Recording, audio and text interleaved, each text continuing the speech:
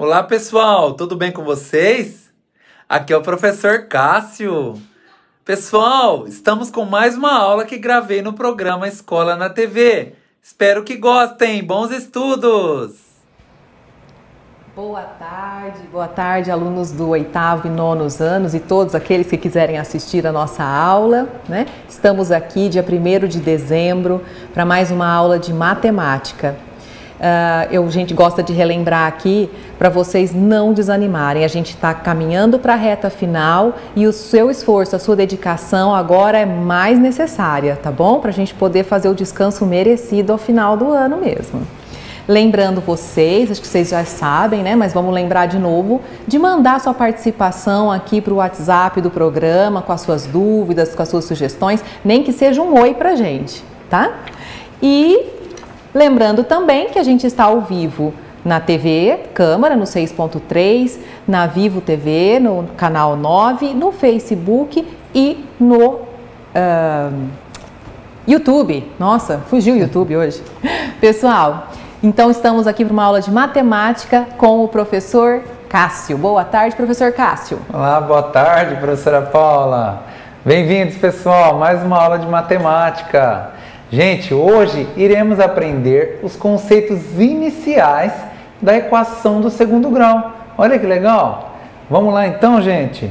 Os objetivos da aula então são conhecer as equações de segundo grau e suas características básicas, coeficientes, forma completa e verificação de raízes, aplicando na resolução de problemas, tá certo? Então o conteúdo é a equação do segundo grau e os materiais necessários serão caderno de matemática, caneta, lápis e borracha, tá bom? Pessoal, como sempre, vamos para o nosso problema inicial? Então, olha lá, ó. a figura ao lado representa a área que será destinada à feira de ciências, que será realizada em certa escola. Letra A. Determine a área da parte vermelha, sabendo que a parte branca não poderá ser utilizada. Letra B. Calcule as dimensões da área em branco quando a área da parte vermelha for igual a 207, tá certo? Gente, vamos deixar esse problema então lá para o final, tá? E a gente vai então seguir com a aula. A gente vai aprender então quais são esses conceitos iniciais da equação do segundo grau, tá bom? Antes, vamos começar então com um pouco de história da matemática? Então vamos lá, vamos ver lá, ó.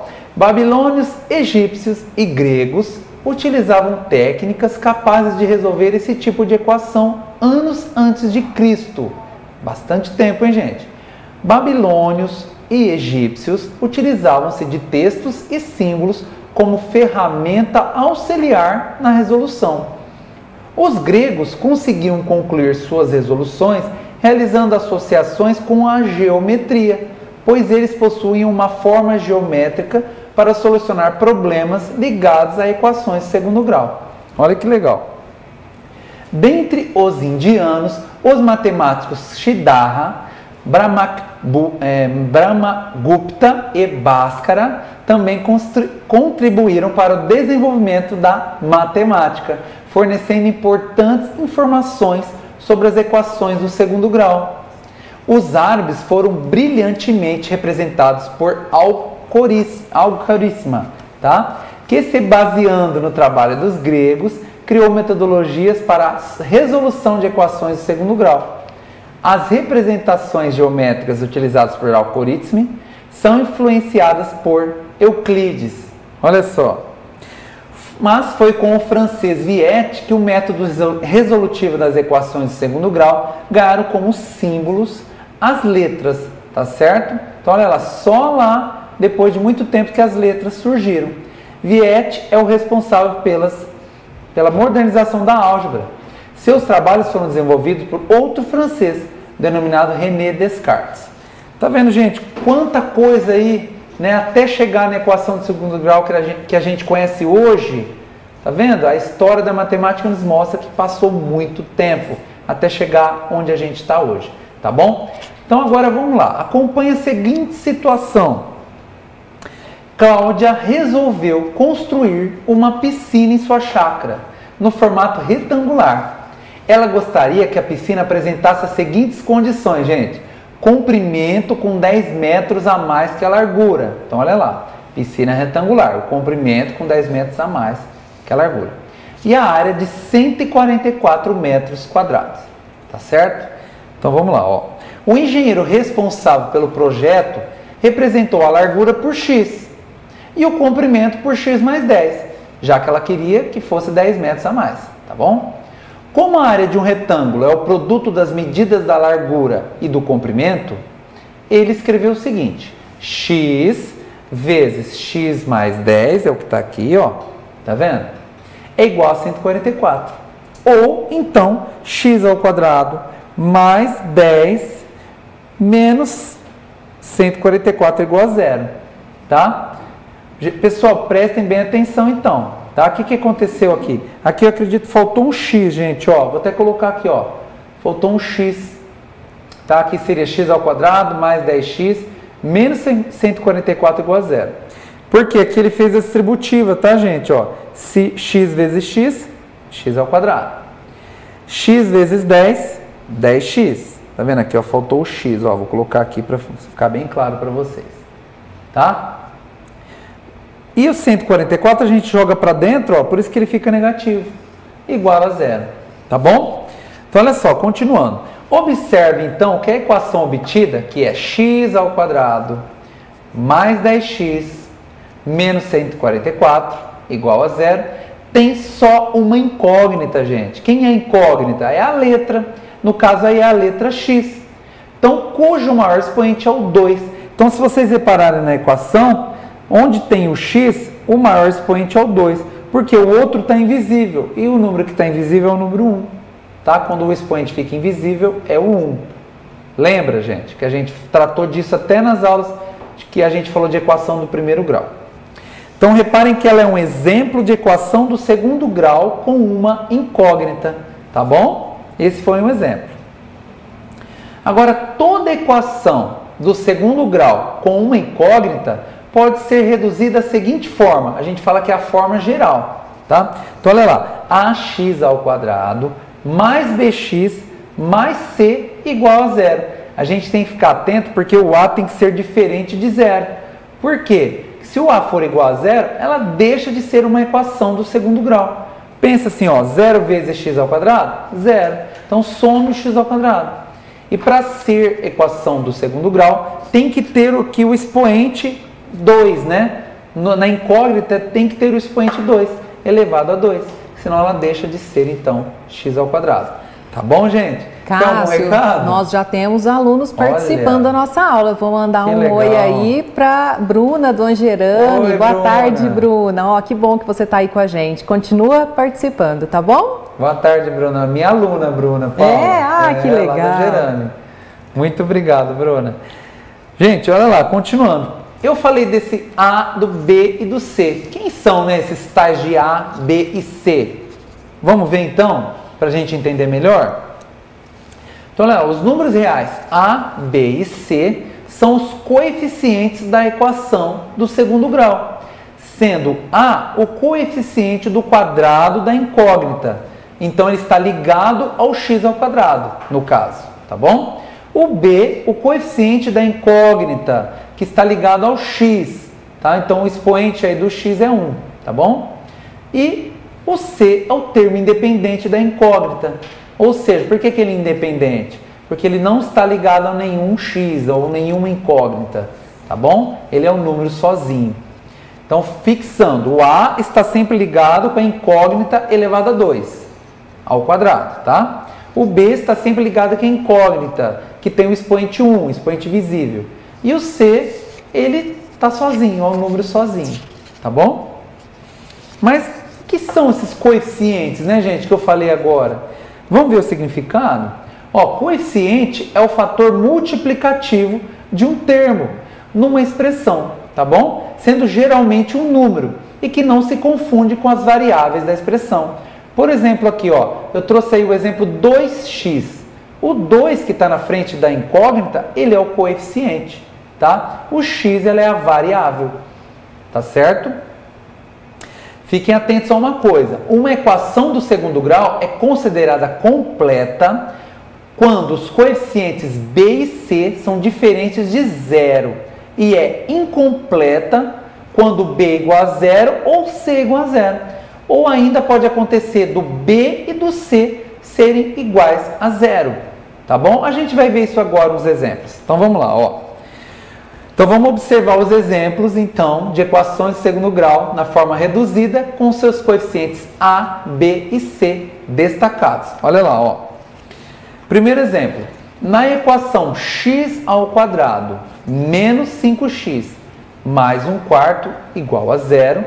Então aqui reparem que ele é completa. Por quê? Porque o A vale 6, então o A nunca pode ser zero, tá? No caso aqui ele, pode, ele vale 6. O B vale menos 5 e o C um quarto. Então ele tem aqui os três coeficientes. Então ela é completa. O B e o C são diferentes de zero. Na 2, ó, no exemplo 2, eu tenho a equação 2x ao quadrado mais 8x igual a zero. Se vocês repararem aqui, ó, o a vale 2, porque ele está junto com o x ao quadrado. O b vale 8, que está junto com o x. E não temos aqui o termo independente. Então o c vale zero. Então aqui se trata de uma equação incompleta. Olha lá, ela não é completa, porque o c vale zero. Tá? Agora na equação 3 x ao quadrado sobre 3 menos 20 igual a zero. Se vocês repararem bem, ó, o A vale um terço, tá? E o B vale zero, porque eu não tenho nenhum número ligado ao x somente, tá vendo? Eu tenho um número ligado ao x ao quadrado, ó. Tá vendo aqui, ó, que é um terço. E ligado ao x eu não tenho, então o B vale zero. Agora o C, o termo independente, vale menos 20. Então ela é incompleta. No caso aqui, quem está faltando é o B. E na equação 4, olha lá, eu tenho raiz de 2 sobre 2 x ao quadrado igual a zero. Se vocês repararem bem, eu só tenho o a aqui, que é raiz de 2 sobre 2. Tanto b quanto c são iguais a zero. Então aqui também tem uma equação incompleta. Nesses quatro exemplos, gente, a gente pode perceber então que temos no 1 uma equação completa, no 2 uma incompleta, faltando c, no 3, uma incompleta faltando B. E na 4, uma incompleta faltando B e C. Olha lá. Então, são os possíveis, né? São todas as possibilidades aí de equações incompletas. Tá certo? Vamos participar agora? Vamos fazer uma atividade, gente? Então, vamos lá, hein? Vamos lá, ó. voltando ao problema inicial. Vou ler de novo para vocês. Ó. A figura ao lado representa a área que será destinada à feira de ciências que será realizada em certa escola. Letra A. Determine a área da parte vermelha, sabendo que a parte branca não poderá ser utilizada. Letra B. Calcule as dimensões da área em branco quando a área da parte vermelha for igual a 207. Então, ó, fiquem atentos a uma coisa. Vocês estão vendo aí que, a, que se trata da figura maior, é um quadrado. Então lembra que a área do quadrado é lado vezes lado, tá bom? Fica a dica. E a parte que está em branco é um retângulo, que é comprimento vezes largura, sua área. Então vamos lá, em dois minutinhos para vocês. Vamos lá.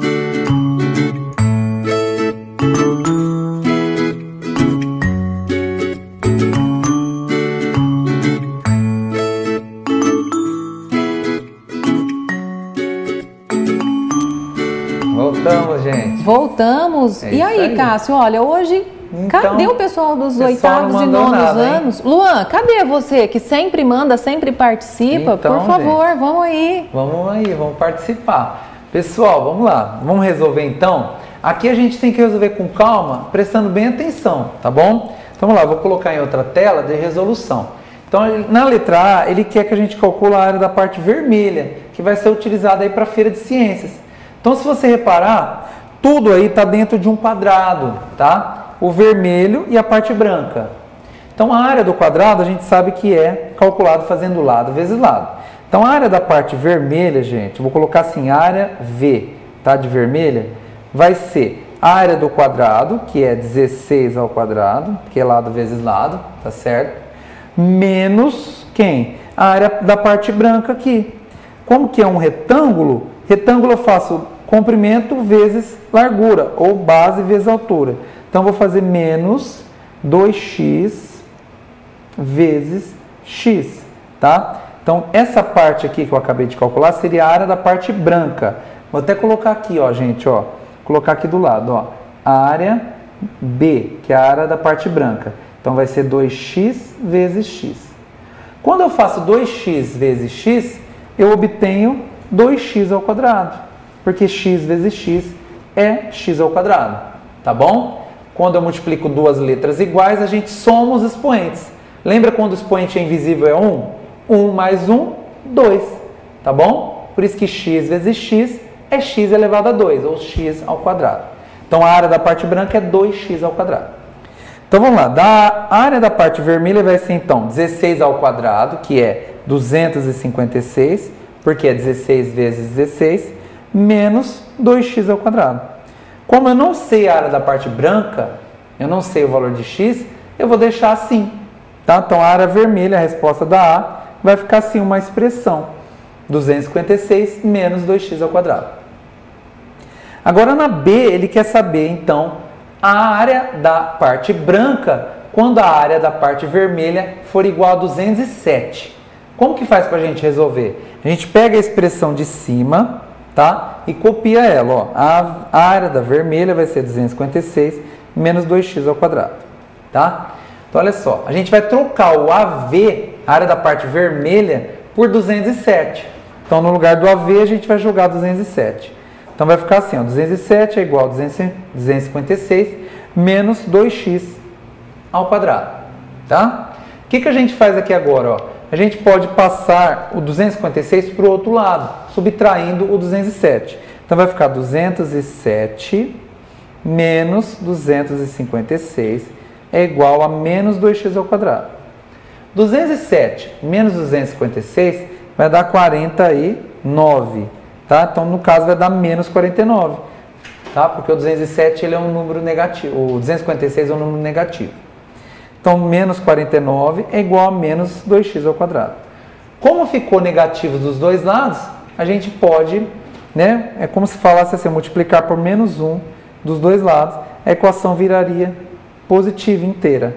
Olha lá, 49 igual a 2x ao quadrado, certo? A gente acabou encontrando a resposta. Por quê? Olha aqui, ó, a área da parte branca é igual a 2x ao quadrado. Ué, então aqui, ó, 2x ao quadrado equivale à área da parte branca, que vai ser igual a 49. Olha lá, gente, encontramos a resposta da letra B. A área da parte branca é igual a 49, certo? Aí depois, se você quiser saber o valor da parte vermelha, então era só substituir, então, é, isso aqui, gente, ó, vou circular aí para vocês, por 49, fazer 256 menos 49, você encontraria, então, a área da parte vermelha, daria certinho. Tá bom, gente? Olha só, vamos fazer o exercício 2 agora? Nesse exercício, a gente vai verificar quais das equações abaixo são do segundo grau e identificar os coeficientes A, B e C, do jeito que eu ensinei para vocês. Tá bom? Vamos lá então, gente. Dois minutinhos, hein?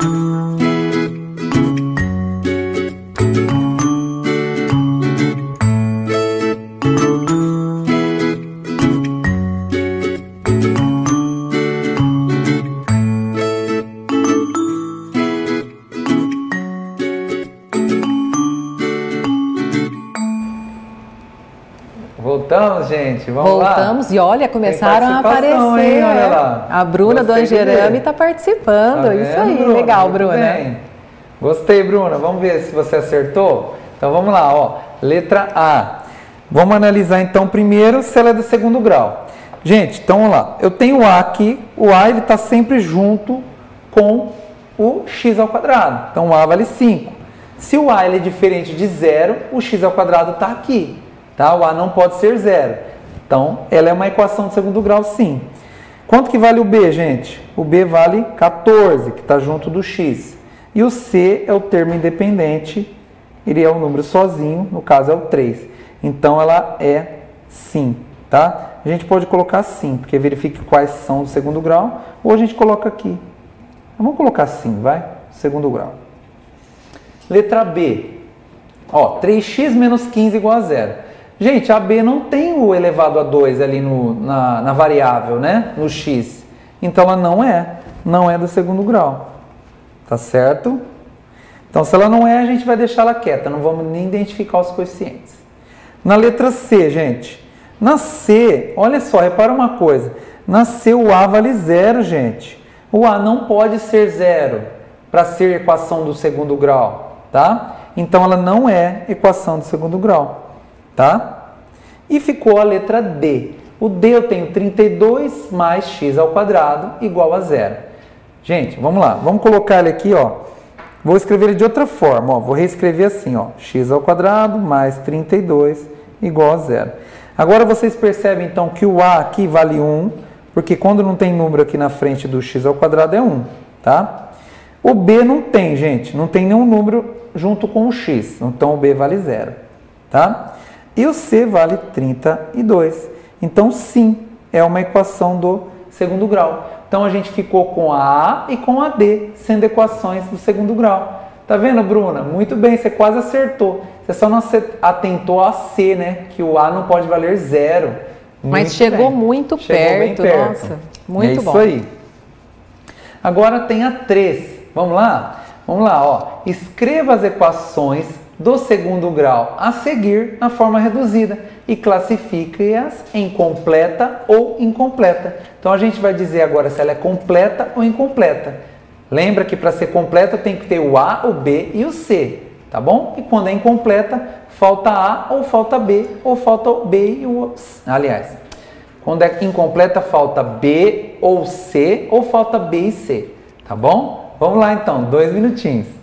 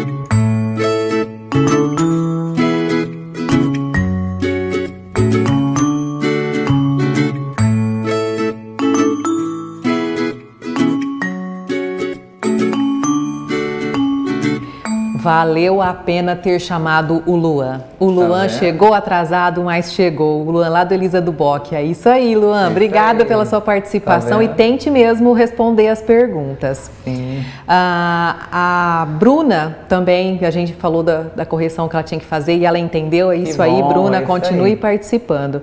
Vamos ver, Luan? Vamos É, ver. Se você acertou ou não, vamos lá? Vamos lá, gente. Vamos escrever então na forma reduzida, que é daquele formato lá ax ao quadrado mais bx mais c igual a zero. Então a gente vai perceber ao escrever assim se ela é completa ou incompleta. Então vamos lá, letra A. A gente vai ter que passar esse menos 2 para dentro. Então vai ficar assim, ó, 8x ao quadrado mais 10x mais 2, porque o menos 2 muda de lado, muda o sinal, tá? Igual a zero. Então aqui, ó, se você perceber, ela tem o A, o B e o C. Então, né, diferenças de zero. Então ela é completa, tá? Completa. Letra B, 4x ao quadrado igual a 15. A gente vai passar o 15 para o lado de dentro, então vai ficar negativo, olha lá, igual a zero. Se você reparar, eu tenho o A, que vale, olha lá, eu tenho o A que vale 4, e o meu C que vale menos 15, certo? Então eu não tenho B, então está faltando B, então ela é incompleta, tá? Olha lá, incompleta, tá certo? Na letra C eu tenho 2x ao quadrado mais 9x igual a 4. Então eu vou passar para dentro o 4, que ele vai vir para dentro como menos 4. Olha lá. Então o meu A aqui ó, vale 2, o meu B vale 9 e o meu C vale menos 4. Então essa daqui é completa, tá certo?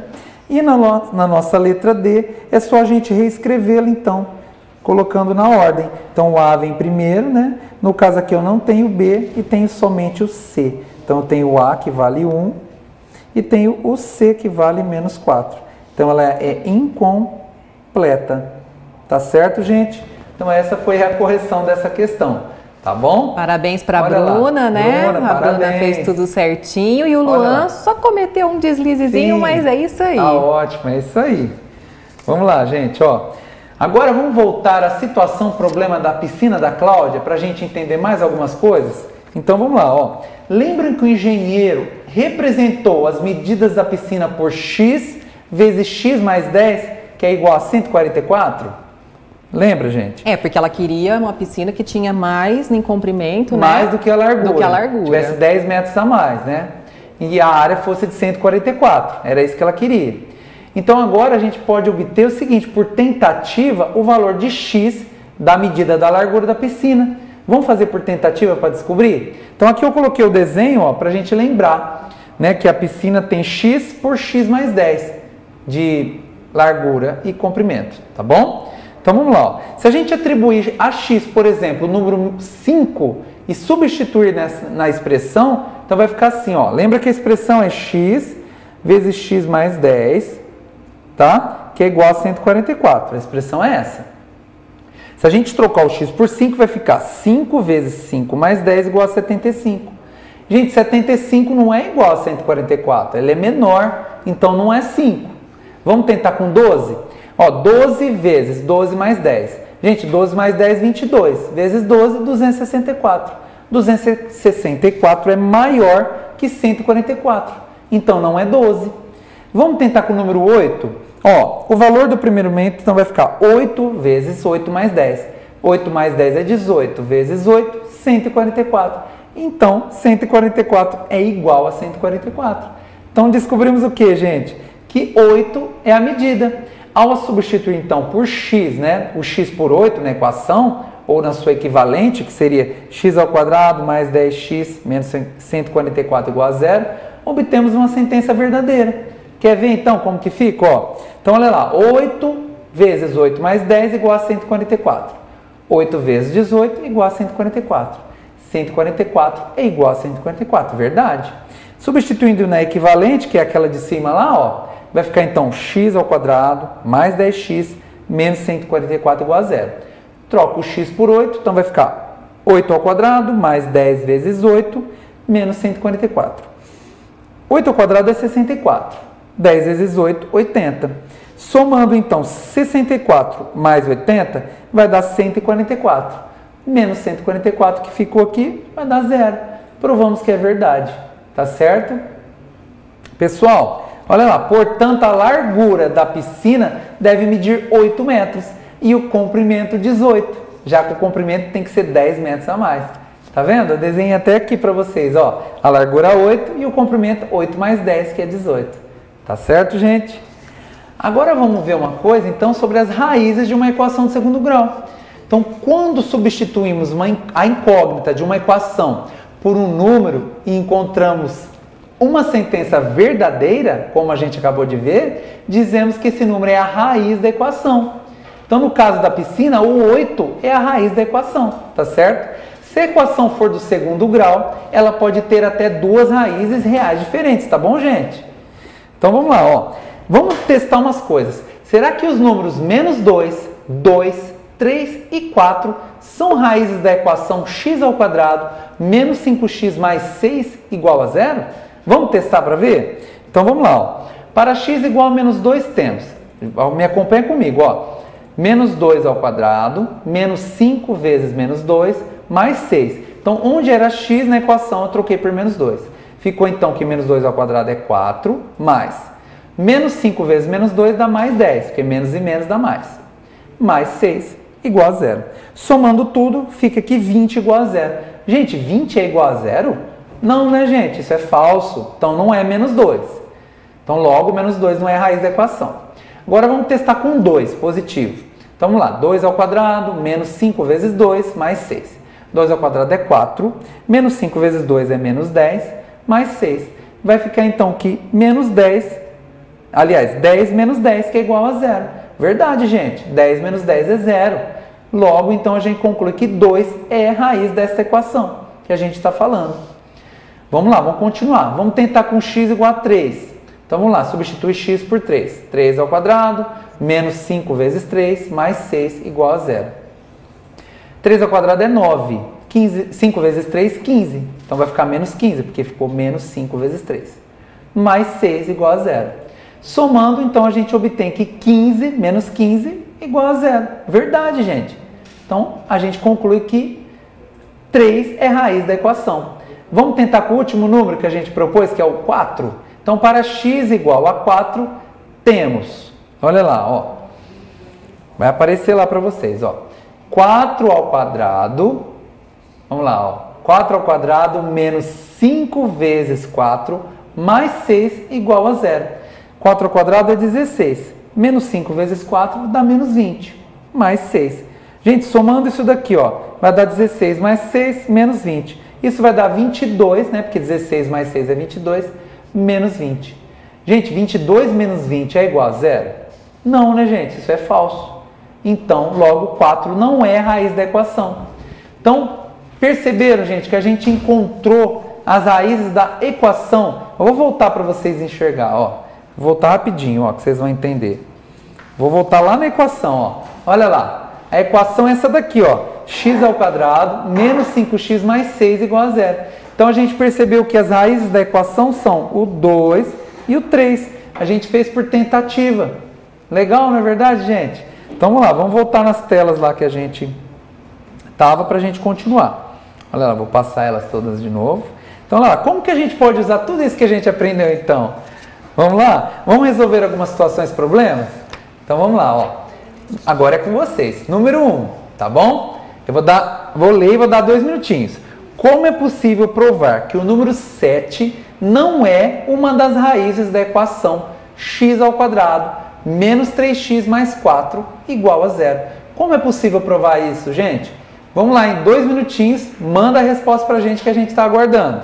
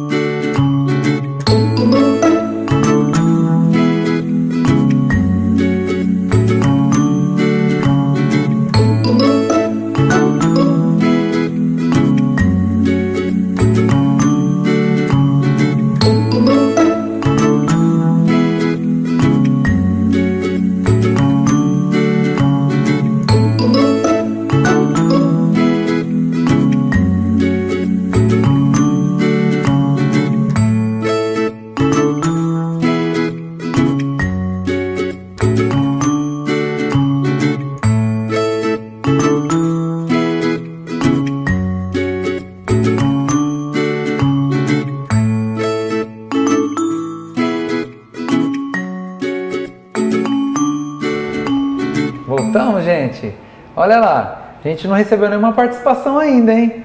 Cadê, cadê o Luan? Cadê a Bruna para mandar a resposta? A gente está esperando. Gente, olha lá.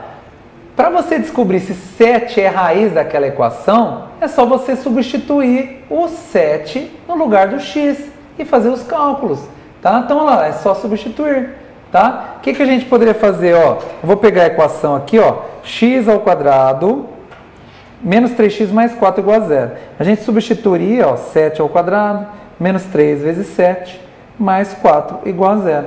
Então, era só substituir. Se você vê que a sentença se é verdadeira, ela é raiz. Se for falsa, não é. Então, vai ficar o 7 ao quadrado, 49, menos 3 vezes 7, 21, mais 4. Então, olha lá. Então, vai ficar 49 com 4 dá quanto? Dá 53. 53 menos 21 dá zero, gente. Não, né, gente? Então isso aqui é falso. Então, a gente provou que 7 não é raiz da equação, tá certo? Então vamos lá, gente. Agora vamos fazer o exercício 2 para a gente encerrar. A gente está quase acabando. Olha lá, ó. Vamos ler para vocês. Se do quadrado da idade de Maria subtrairmos o dobro da idade dela, então presta atenção, do quadrado da idade de Maria subtrairmos o dobro da idade dela. Tá? Lembra que dobra duas vezes. Obteremos 10 vezes a idade de Mara, a irmã gêmea de Maria. Olha lá. Monte a equação e verifique se Maria tem 10 ou 12 anos de idade. Vamos lá, gente, com vocês, dois minutinhos.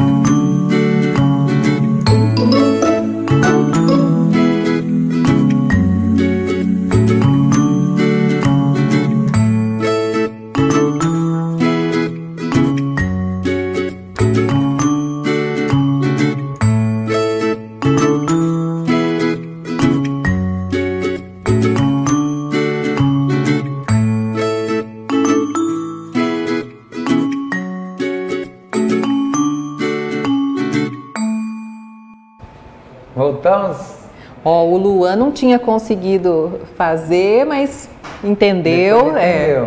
E a Bruna disse que passou longe, Nossa. mas também, mas tentou. Isso tentou. é importante. Gente, vocês viram que era só então substituir para a gente saber se um se um número é raiz, né, de uma equação, é só substituir esse número no lugar do x ou da letra, porque pode ser outra letra, tá? Pode ser y, mas é que x é uma das mais utilizadas, é. tá bom? Então vamos ver como resolver a 2.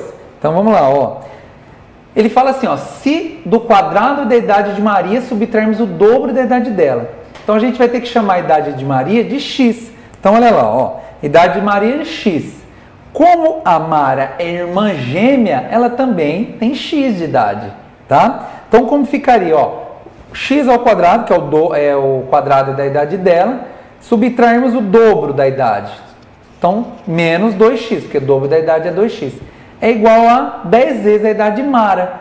Mas a idade de Mara também é x, por isso que fica igual a 10x, tá? Passando para a forma reduzida, né? A gente passa o 10x para o lado de cá, para a gente tentar reduzir ali, ficar simplificado. Então fica que x ao quadrado menos 2x menos 10x igual a zero, tá? O que, que a gente pode fazer? A gente pode juntar esses dois, ó. Menos 2x com menos 10x vai dar menos 12x. Então vai ficar que x ao quadrado menos 12x é igual a zero, tá?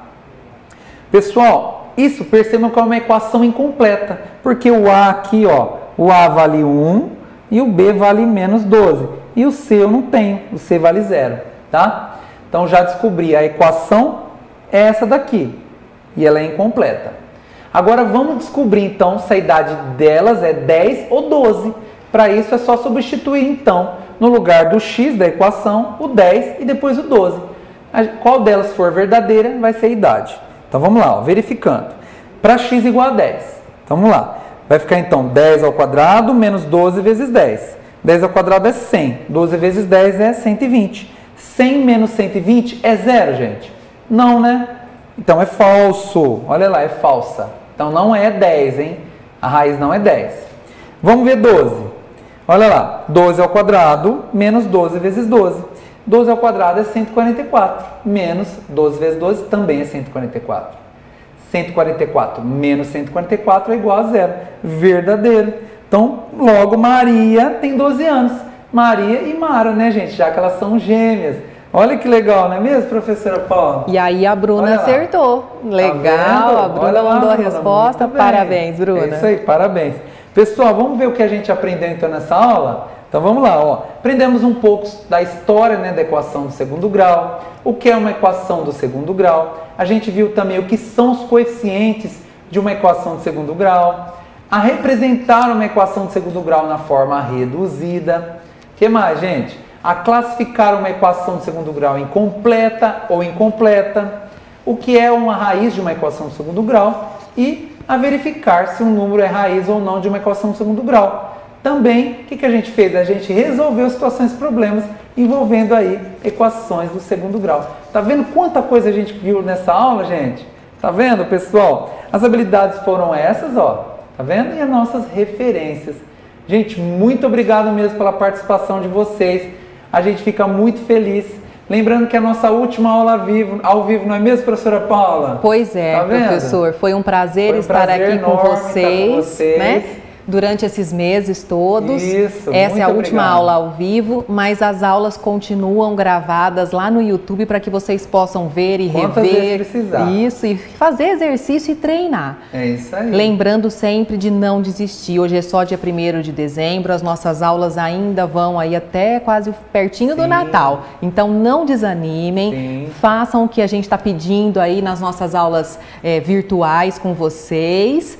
E aí é. a gente é, segue o nossa nossa programação, mas a escola na TV ela continua, continua. tá bom? Continua. A gente ainda vai ter aí algumas aulas que estão finalizando, Sim. tá? Nós vamos ter algumas retrospectivas Essa de aulas a que a gente fez. Né, Essa é a última ao vivo de matemática. Tá bom? Tá certo, gente. A gente fica muito feliz de ter vocês. Ó, tchau, o Luan tá mandando tchau, um tchau, a Bruna também. Obrigado, ó. Obrigado, um beijo para vocês. Beijo para vocês. E até a próxima, até pessoal. A próxima, gente. Tchau, tchau. Tchau. E aí, pessoal, gostaram da aula? Espero que sim.